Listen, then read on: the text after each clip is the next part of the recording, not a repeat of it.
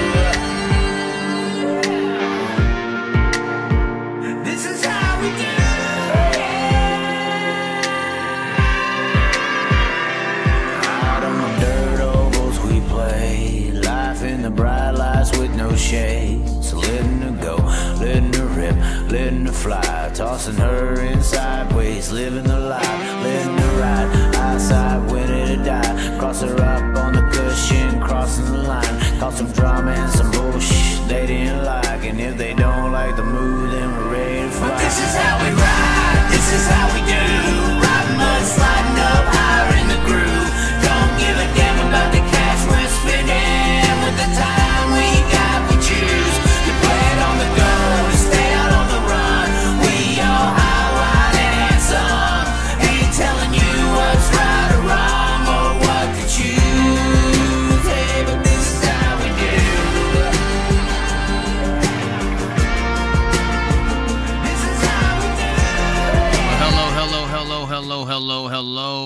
and gentlemen. We are here on a Halloween. We have the uh, suits up. We're ready to be a, a dirt track politician. And that's kind of honestly, that's what we're somewhat talking about here today. Hopefully, everybody is uh, answering the doors. I've been busy answering the doors for the kiddos and stuff myself. So I'm sure a bunch of people out there are. Uh, interesting uh, talk discussion we have here today. It, it was spurred on the Zach Rhodes uh, interview. If you haven't seen that, go check that out. But I guess you could call it a colleague of his uh, from the racing world uh, messaged me and said he had some opinions on some of the stuff uh, that we had said, and we have him uh, on the line now, and it is uh, Doug Dotson, or is it Dodson? Tell me, how do you say it? What I know there's different ways. Uh, yeah, Dodson. Dodson, even though it's a D and not a T. Yeah, D- Doug Dodson. Yeah, Okay. you know, you know, you're a, a less than famous race car driver when we have to start out like this, right? Well, I mean, the the photo I found of you at least was in Victory Lane, so you're a winner out there, or or, or what what are you like in the Dewease category? You used to win, and what what what, what what's happening? Funny thing is, I actually had I, I've raced about every division in Central PA, and I actually in the early 2000s I ran or uh, late 2000s, like 2007 through 2011, I ran 410s and did win a, a 410 race at Lincoln uh, over Lance Dewease. Wow. So you're you're on a I mean technically, I mean if you beat Kyle Larson one night, I mean technically you could say you're better Yeah. than Kyle. So I mean if you beat if you beat Yeah, I mean- Lance one night, I mean you're you're technically better than Lance Dewease. You just didn't have the same cards fall the way you wanted them, you know? I mean Right. You know, no one has to talk about how Lincoln used to rubber up back then or anything like that. We can just leave it at that. Well, and and and funny enough that we're on this topic in a way, you know, I I, I think the thing you wanted to talk about was payouts a little bit, cause, and and I, I see the the RaceSaver situation in PA especially. Uh, I think that is where the I don't want to call it a predatory sense that RaceSaver implements onto society, but it definitely seems to prey on the desire to be a sprint car racer in that area in in, in on the fan side of things or or just everyone's a fan but it seems like it does prey on those who want to be in a sprint car because it seems like there's a lot of cars in that division. And the reason I guess I say pray is because the the cars aren't super cheap. They're they're cheaper than you know a 410 but the payout is isn't isn't the and this is an issue for 305s across the board but the the payout up there is in the 400 500 dollar range i think it is. I know that the start is up there 225 250 or something like that but i i i, know that happens up there and i think it, it, you know it preys on the hopes and dreams of being a sprint car guy. If you go race sprint cars uh mpa you feel like you're somebody you know just doing it. So i i do think the payouts are not where they should be for how much those cars cost. That's just how i, I, I view it. Well, uh, as far as if we could get more overall pay, I mean, I think that would be good for us for sure. Um, but one of the things that, you know, so many times, especially being here in Central PA, when, you know, I, I've been racing this division for a while, and my wife raced it for a while. She was involved for several years before me, and uh, so I've been around it uh, for a while. And anytime I bring up the the series, I hear, you know, to anyone in, in central PA that knows racing, the, the same response. It's like, oh yeah, that's a that's a pretty nice division, but they just don't pay anything. And it's always that perception based on the the fact that the winner's share is 450. Um, but our overall purse is actually pretty high compared to really any any comparable division of where we hold our place on the schedule. Um, so you're talking about comparing PA, to like UMP dirt car modifieds and like still block late models? Are you where, where, are you putting the the 305 sprint car in comparable expense in in that saying that you're giving there? What are the classes are we comparing well, to? Yeah, so in Central PA, there's so many open wheel classes, so many sprint car classes. We're either a, a second division or a third division. Um, so sometimes we're in the in the place on the schedule that the street stocks would be. Uh, you know, um, but yet uh, you know, like our total purse uh, is just over six thousand dollars for a 24 car field. Um, like the super sportsman division that runs at BAPS, they race for a thousand to win. Um, legacy division um, from the old Silver Springs days, um, their total purse is 5,875 bucks.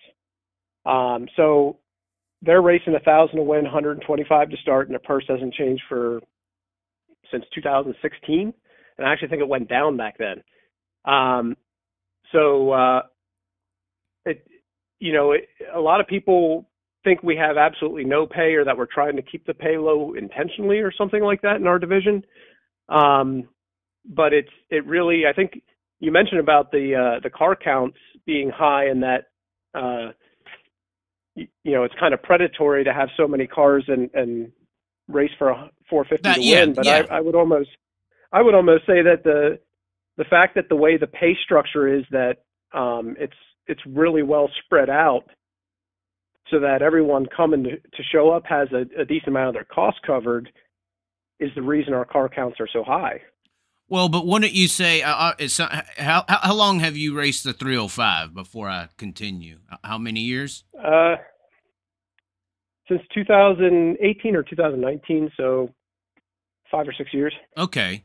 Well, I guess that was a little late, but I was going to say if you've been around a little bit uh, with the 305, you know, it used to be a decently, you know, economically sound motor package, and it isn't that really mo- anymore. I hear that some can get away with it, but you know, when it first started coming around, you know, the 15, 16, 17s in in the South at least, uh, you know, it was a motor package that if you had, you know, 10 to 15 grand in the motor, you're looking at a very durable uh, motor that would la- last an extremely long time. And then all of a sudden, here comes the Dragon Claws and this, that, and the other.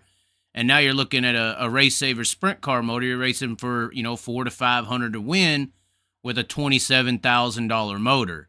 Um, how have you seen it develop since you got into it? Uh, 18, 19, I would assume it would have still been around the the 15ish range or to 20ish range for the the pristine motors, but I I'm, I know it's went up since then. Well, yeah, but in the past two or three years, anything involving uh, that, that has aluminum as a raw material pretty much doubled in cost. So um, we're seeing it across the board, but certainly engines uh, have gone up. Uh, injections are a big. That's a good point because uh, I mean yeah, injection, 10 years, yeah. 10, 15 years ago, everybody had old used Hilborns on it, Right. and and it was it was kind of everyone's in the same boat. And then, yeah, now there's uh you know four or five thousand dollar Engler and and and uh, Kinsler packages on them, and and they do make a difference. I mean, the you know it is the days of the old uh, original Hilborn really are. Uh, uh, it's it's it's tough to get those things to work right. You you can actually win with them. They're just so much finickier to get right.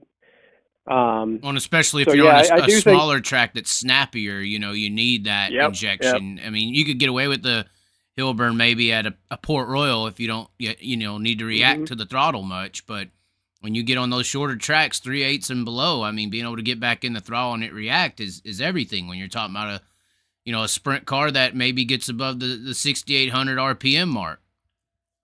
Yeah, I, I do know that uh, uh, when you know past couple years uh, we had you know he's moved on now, but uh, we had Garrett Bard kind of dominating our series, and he had a Hilborn on his. It wasn't the old old Hilborn; it was their Mega Power, but it was still uh, it wasn't a Kinsler. Or, uh, you know, they're they're they're still more affordable than the Kinsler or the um, uh, Engler. So.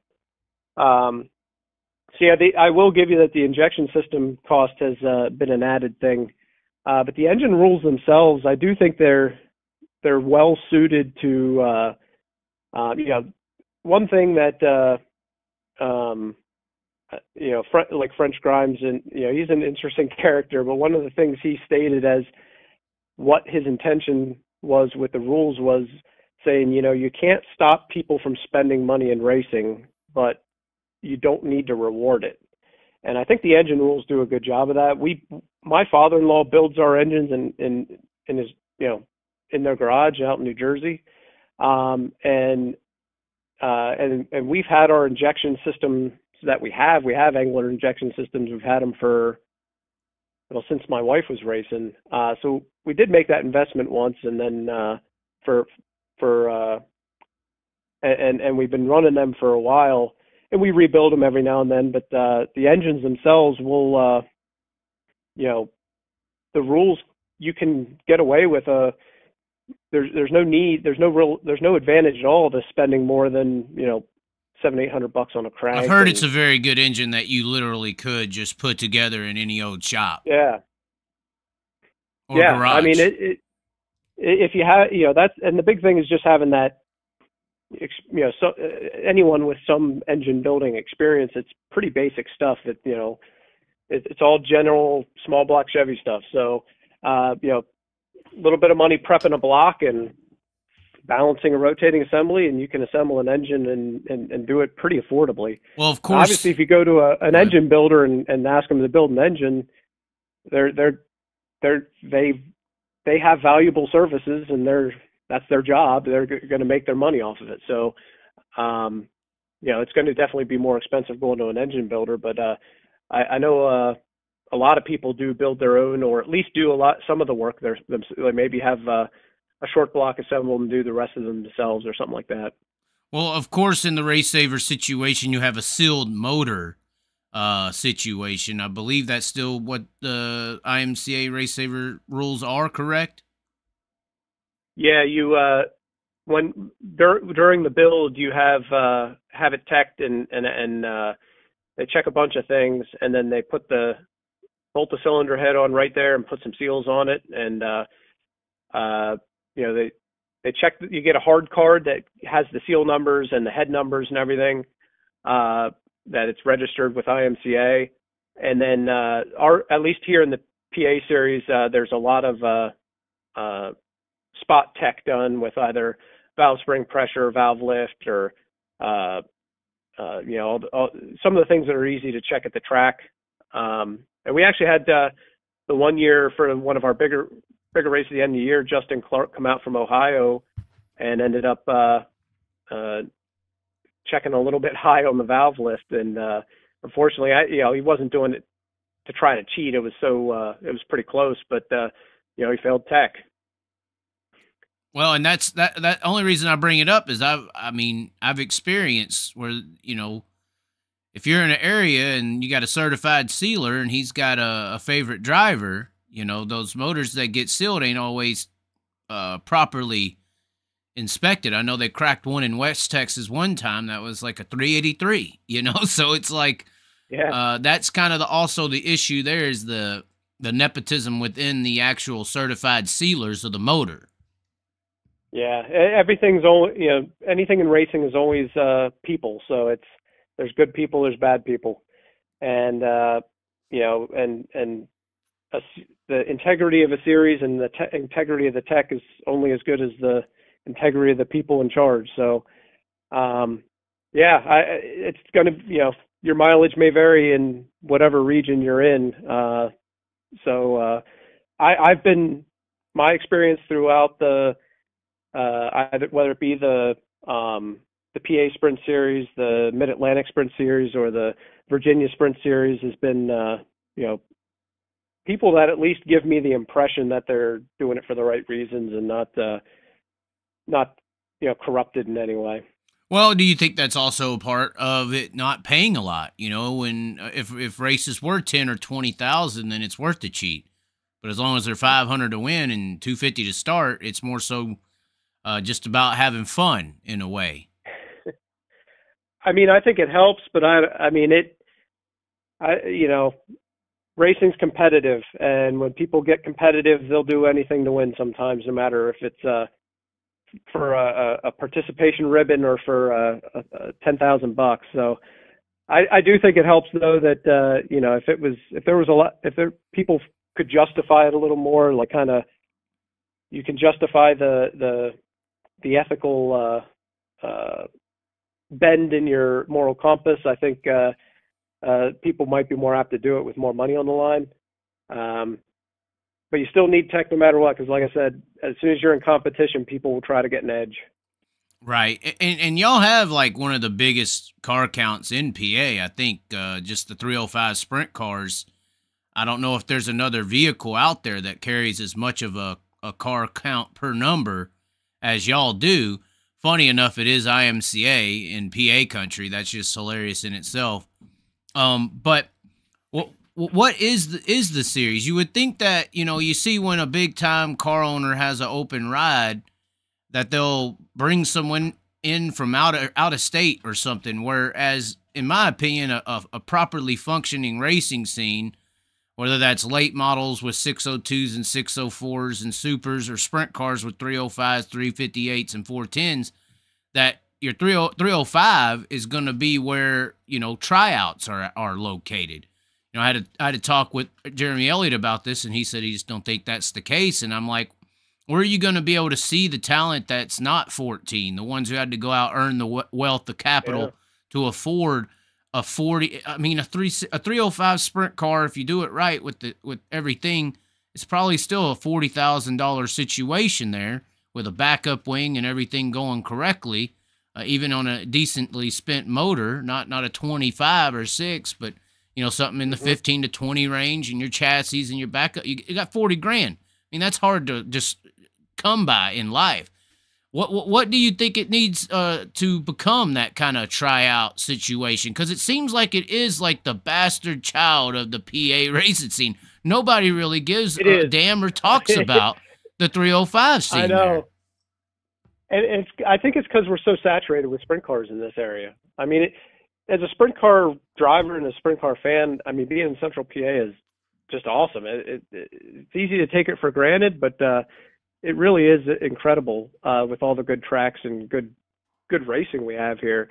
But I think you know there's just so much sprint car racing that by the time uh, uh, anyone gets around to paying attention to the RaceSaver sprint cars, it's you know they've already looked at they've already watched uh, the 410 guys race the 358 guys race the 360 guys race and it's like um it it, it really you, you said it kind of like the the redheaded stepchildren of the the the central PA sprint car scene. It does feel like that a lot of times. Yeah, I mean, I, super sportsmen so are much, above but, y'all sometimes. I mean, yeah, but uh, I I mean I I do tell people you know anyone who's uh who talks to me about getting into it, and, and uh, you know, I will say, like, if you if you truly are trying to make a name for yourself in sprint car racing, I really would recommend, you know, putting together a 358. I mean, it's going to cost a little more money, but um, you'll you at least have the, oppor- uh, a better opportunity of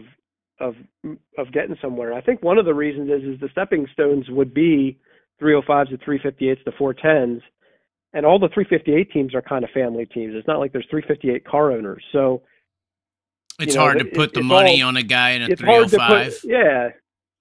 Well, you know, if if you're if all of your 358 teams are family teams that have you know for their own their own son to drive, they're not going to hire a 305 guy into the 358s.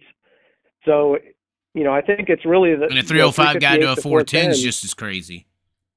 Yeah, yeah. I mean, uh, you look at we do have some PA Sprint Series guys who have done really well in 410s, but none of them really got an opportunity until they went and did it themselves. Like Logan Wagner dominated in the 305s out here, but it wasn't until he put a 410 in his own car and went out to Lernerville and won an All-Star race and won a race at BAPS that he got to get into the Zemco ride. That would have never happened if he had only dominated the PA Sprint Series. Um, Tyler Reeser, I mean, he dominated PA Sprint Series, and then, um, you know, he had to put it put his own deal together with a 410 and win a race at Port Royal to to really get anywhere. Um, so we, we, know, there's a there's some drivers that that have the obviously have the talent to to compete with the 410s, but it's it's really hard to to make that jump uh, just based on three you know the 305 experience alone. Um, there's usually some, uh, um, you know, you, you really got to kind of take take the leap and take the risk yourself if you really want to go that way. It seems. Well, oh, and then uh, of course, uh, I guess the one benefit to doing a 305 is, you know, if you ever do want to do 360, 358, 410, you just got to change your motor and your rear end out mainly. Yeah, yeah. I mean, it is. Uh, you you can really transfer over pretty easy. Um, you do, have, like you said, you do have to make sure you get a good rear end because uh, 410 stuff's a lot harder on it. Uh, uh, and and uh, You need to twist stuff, her you out. know, get away. Yeah, you can get away with a lot of uh, lightweight stuff and and run it forever. Whereas, uh, yeah, you get in the 410s, you need to be pretty careful with that. Um, you know, I I kind of went the other way. I I when I was young, I was I had uh, my eyes set on you know seeing Being how far I could go in sprint car racing, and uh, and, and but then uh, there was a kind of a turning point of when I started my career uh, in uh, you know sales and engineering that it really kind of made me realize how much focus and dedication you have to put to be competitive in in the 410 level in ce- even you know in central PA that uh as soon as I started uh having some a lot of my time taken up by a full-time career it, it became very obvious that that was not going to that my my uh my growth path was going to slow down a heck of a lot. Uh and uh and so it, it both it kind of happened uh you know I wasn't I didn't realize that and stepped away. It it, it just it's kind of an after the fact thing after I lost my ride uh, that I said you know what? That makes a lot of sense. I really wasn't as focused as I needed to be uh after I you know got a job. So um so then I I, I raced uh super sportsmans for a while uh you know back when they still had no power steering. That was pretty fun.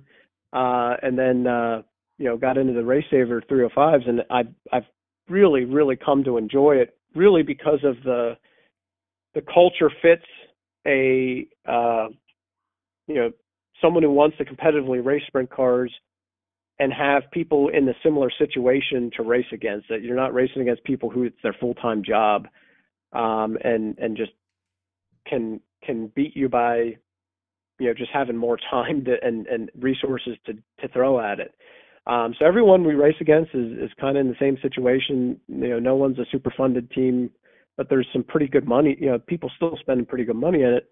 But there's uh you know everyone's got got jobs is is going to the track racing and and having a a, a decent level of of respect for each other and having a lot of fun you know having a lot of fun with it too. I mean i i i race competitively because i am competitive but you know it's it's i do it on the weekends to, to kind of have have something i enjoy and you know racing a, a sprint car port royal right around the board right around the fence is really cool especially when you're passing cars doing it um and it it really sucks like i know when i raced 410s like everyone in the pits is miserable because there's so much Mm. pressure and so much money. If you are not, if you're if you're like kind of having fun with it and joking, like you can still be taking it seriously. But if you're, if you know, the the perception is, well, there's way too much money involved to be having fun here. That's true. I mean, I went to Path Valley instead of the World of Outlaws uh, when they were Friday, Saturday, uh, here uh, right after the Eldora Million, that kind of summer swing, summer nationals. And the pit area with the Pass series was just next level as far as, you know, enjoyment, camaraderie. Uh, I mean, you go to the Outlaw I- I race know the next good- night. Yeah, oh, go ahead.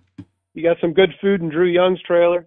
I mean, I was surprised, you know, because you go and then I went to the Outlaws the next night, and it's like motherfuck this guy, motherfuck that guy, stab someone in the back if if it'll get you a spot on the track, and and and that was it's very true. The difference in uh kind of enjoyment is is is there, and I, I I would contribute that to the lower payouts as well. It's not like you're racing Mhm. for the Taj Mahal. Um, where do you think Well, I 305 where do you think 305 racing could go, you know? I mean, if there was a 305 World of Outlaw tour, would it I mean, would that attitude translate instantly? Obviously, you're under the banner of IMCA. Most people think of IMCA as a bad a bad situation. Obviously, they bought RaceSaver. Race Saver wasn't started by them. Yeah. But how do you feel about I being an IMCA driver? Because I'm assuming you have to have a license, right? Yeah, yeah, and and, and you know we basically we pay uh, a hundred and some bucks a year for a license. Uh, they do pro- provide some additional insurance. Uh, you know, if we were to get in an incident, kind of like how the tracks have a a policy that provides some some money. It's not huge, but it's it's definitely helpful if you ended up needing it.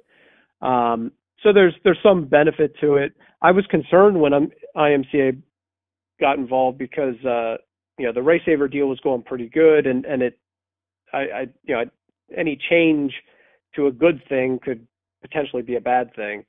Um but so far they've managed it fairly well. They they haven't they've kind of uh been able to to manage all the people who want to try to take it in a different direction kind of kept it true to its roots. So at least on the RaceSaver side i'm i'm i, I don't I don't have a strong opinion of IMCA one way or another. Um, you know, it's, it certainly hasn't been the, uh, you know, it definitely seems like in the modified world, there's a really, really, uh, um, you know, love or hate relationship with it. so well, I, it- it- I, I don't it's, know. It's it a government that- body. It's the biggest government body out Yeah. there, you know, and they use their power sometimes. So Yep. So I mean, it- the the nice thing too about it is if you do, uh, you know, there's so many regions around that that all follow fall under that, uh, you know, IMCA RaceSaver uh, sanction. That, um, like Owen Dim, uh, you know, he went out and ran at Lawrenceburg and uh, and some place in Ohio uh, the other weekend. Um, you know, some guys will go out to Lernerville. Uh, I know in the beginning of the year and end of the year, sometimes guys go down to the Carolinas uh, sprint tours uh, and run with them. We get some crossover between our PA series and the Jersey series, the Mid Atlantic Sprint series. Um, so I mean, you, you can travel around if you want to, um, and and there's options if you want to try to travel around and, and see different tracks and and and and do that. I know for me and and our team, we're pretty traveled out from our past experiences, so we're we're we really enjoy just uh, having a lot of tracks within an hour of of, of here. Uh, but uh, that's a nice nice thing about it too. Um, so yeah, I I uh, um, do do have been enjoying the the the camaraderie and the the allowing uh, myself to enjoy racing uh, as you know as much as uh, much as I have in in a long time. Well, of course, I've I've had an idea of, of you could do something nationally with the 305s, do like national meets in diff, dif- different sectors of uh, the country, you Mhm. know, and have like a 10 or 15 race point situation uh, outside of their national championship. It just seems like there's so many cars you could make it work. It's it's kind of you know Velox is in the comment section talking about 305s, and he's down there in Florida, and they can't even get a sprint car scene going because they're holding down on to more traditional rules and you know steelhead 360 stuff where you know, if if someone would seriously bring a 305 situation down there, it would instantly add that kind of um, stabilization with the rules package. And I think that is something that RaceSaver has done, and, Yeah. and that's the important part.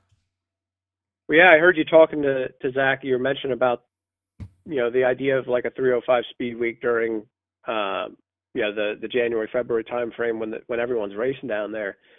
I, I think that would actually be a big hit. I think you get a lot of Carolina guys. Uh, you know, you probably get some PA guys going down for sure. Um, Texas guys, I'm I- sure I there's think- North Dakota, Houston's people that Yeah. don't want to be stuck in the snow. You know, Yeah, I mean, like uh, Florida in January and February has just become another one of those, you know, sprint car world pilgr- pilgrimages that everyone just does, and and uh, to be a part of that, I think there's a lot of there'd be a lot of interest. Well, you have to pay you a like, little Florida money. Where you, yeah, yeah, I, and I I think that would, uh, um, uh, yeah, I I- I think that would be reasonable to pay pay some pay a little bit higher, but like for us, a um we have a, a bigger paying race, uh like we we do a thousand like a thousand five thousand to win five hundred to start, and and that that actually you know creates a, a decent buzz. Um, you know, some of the other regions will kind of uh, uh, get a little bit get away from the uh, what French Grimes originally had uh, stated, where uh, you know last place should pay half of what the winner share is right? and so they'll you know they'll they'll uh they'll keep the the start money um you know in the 200 300 range and do like a 1500 2000 dollar to win race and i i certainly understand that especially when you're down in like carolina where Texas know, was the same. You couldn't get race- a. I mean, I, I helped run racetracks in Texas there for a while, and, and the RaceSaver Mm-hmm. surge. And if you didn't pay a thousand to win, two hundred to start, you, uh, you weren't going to get a field of cars. yeah and and and they you know yeah those regions a lot of times you end up where RaceSaver sprint cars are the only sprint cars or Yes, you know, really the only thing around. So like in Carolina, that's all that's available for sprint cars. Um, so they're they end up be you know really holding a, a, a much more prestigious place in the schedule there too. Um, so I, I don't knock any other series for for doing what they need what they think they need to do for for their region. I just know for in Central PA we're in a unique scenario here with uh, having more sprint cars than we can shake a stick at. So um, so we have the opportunity to have a, a division here that really is, you know, meant to to kind of keep everyone uh, keep everyone's costs covered as good as possible, get us to the track, and allow us to enjoy the the thrill of racing a sprint car at Port Royal or Sealands Selinsgrove or Lincoln or you know all the all the all the great tracks around here. Right, definitely. How do you think a three hundred five Florida deal would go? You know, I was thinking thousand five hundred or two thousand five hundred each race. You know, I mean. Obviously, you'd have to fit it in there around the, the sprint car schedules because it does seem like uh, most of the 305 most the 305 racers are more so fans of the World of Outlaws and and things along those lines. They're in the stands on the big shows and on the track at the local racing. Um, what what what what would be a successful scenario in the in the case of 305s in Florida? I would I would think you'd have 60 or 70 cars a night when you consider all the regions and how many cars are out there. Yeah, and I, I I also think it's just one of those things that I think people will go to something like that. If they're going to go, I think they're going to go.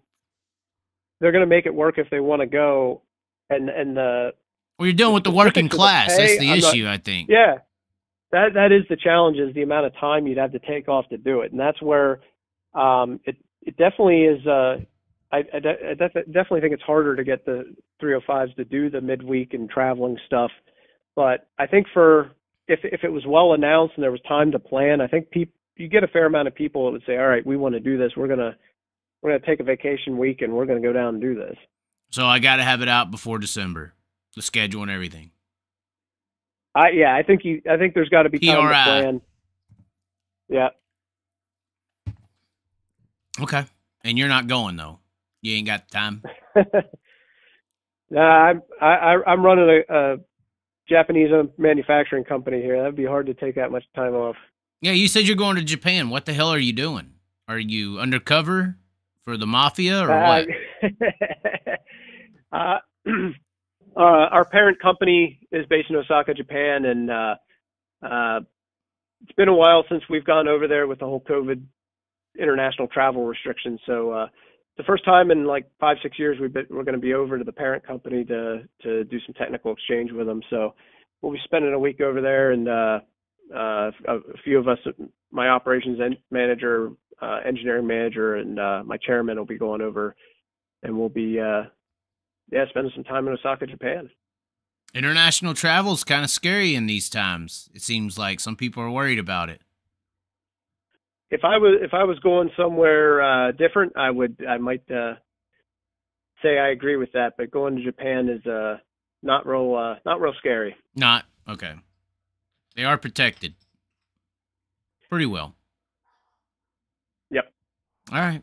Well, is there anything else you wanted to get off your chest at me? Uh, are you a Kyle Larson no, fan? No, I, I mean, I'm a Kyle Larson. I, am a Kyle Larson uh, respecter. I think he's incredible talent, and I don't know how he did.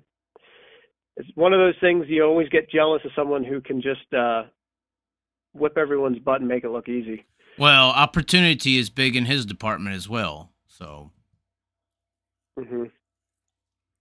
he had he has had a lot of great opportunities that not a lot of people have. You know, the debate of who's better, Larson or Bell, was alive and, and well prior to the whole inward deal and Larson going to the mm-hmm. dirt full time and being able to race more than Bell.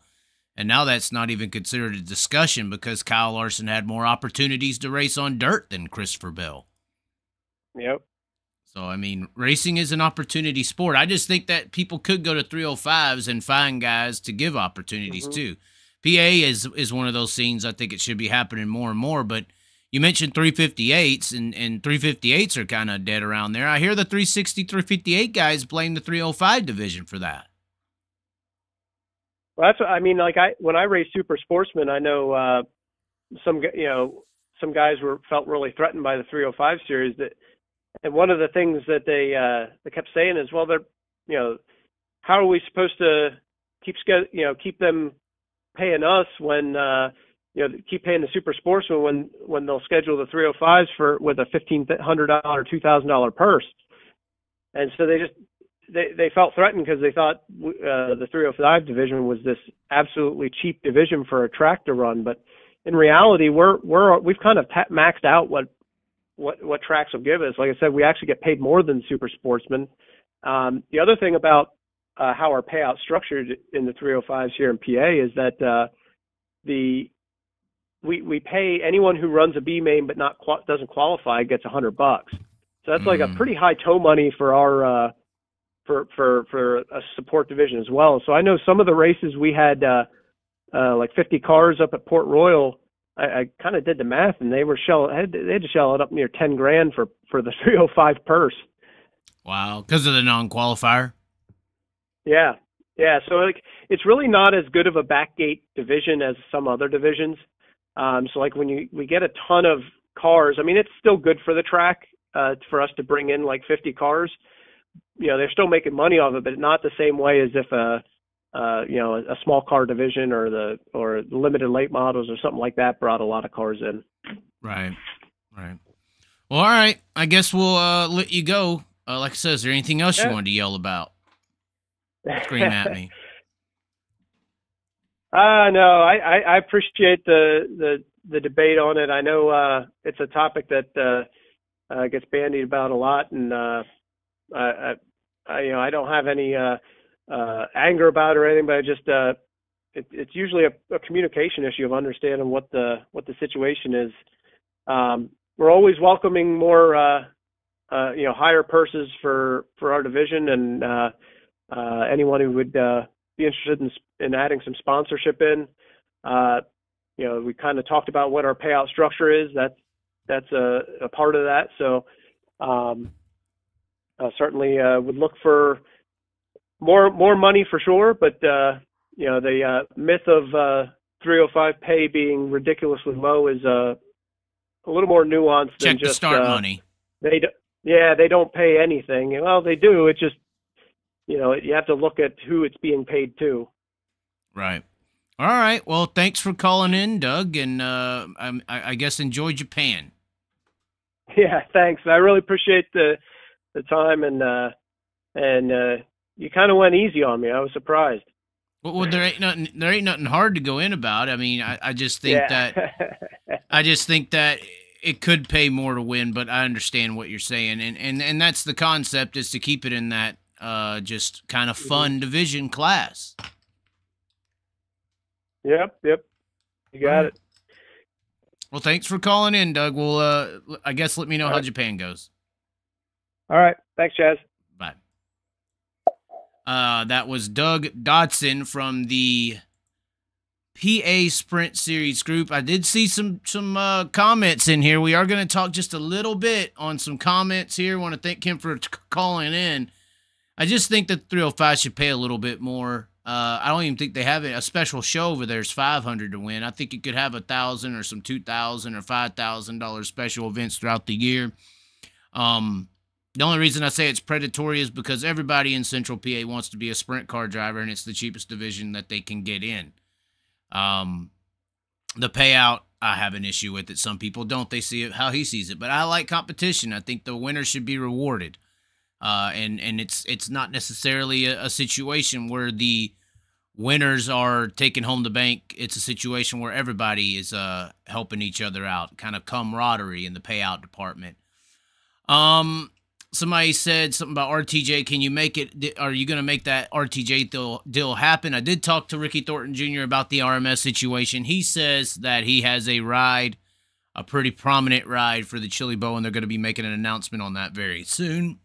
Um, I don't know who else saw it, but yes, Mike Marlar signs up with the Skyline Motorsports team.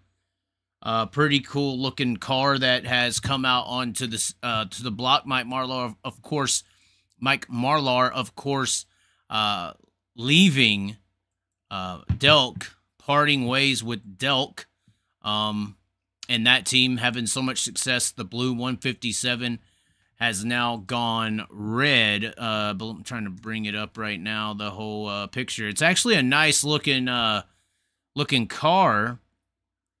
If we can find it out, here it is, right here. Nice looking little 157 uh, vehicle, black and red. Shane Clanton, of course, used to be the teammate. Of course, now he's going to be Mike Marlar. That is a teammate of Tyler Bruening. Of course, Greg Bruening being the owner, operator of Skyline Motorsports. Luckily, you know, maybe some of you people who have a driver who's trying to develop, you at least have two cars and you and you put a veteran in the car to to usher the team along. That seems to be like what they have done here uh, with Mike Marlar and the 157 Skyline Motorsports operation. So sharp looking car, sharp looking ride, really good driver, real good people uh, with the Skyline Motorsports organization as well. They want to win. Winning matters a lot, especially when they pay as much as they do in the late model division. They ain't, they ain't got no 305 situation.